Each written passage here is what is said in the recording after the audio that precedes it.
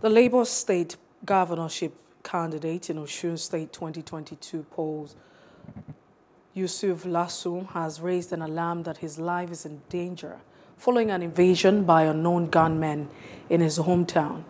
He made this known via Twitter in early hours of today. He further added that the gunmen were all dressed in uniform while they carried out the attack.